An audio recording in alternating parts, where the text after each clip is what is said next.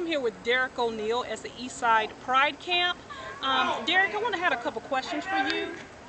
Um, can you please let me know what has been the hardest part about camp since you've been here? Um, the hardest part about camp has been waking up 6.30 in the morning and hearing the loud blowhorn. Oh, there's been a loud blowhorn. Okay. Well, what would you say you have learned most? Well, what has been? What, what do you think you've learned the most? Um, I learned how to be a team, discipline, and how to respect and come together as one.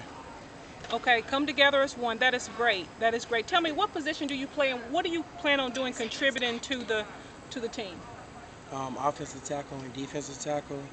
Um, mainly helping my team go to the top and win the state championship. You heard it. Win the state championship.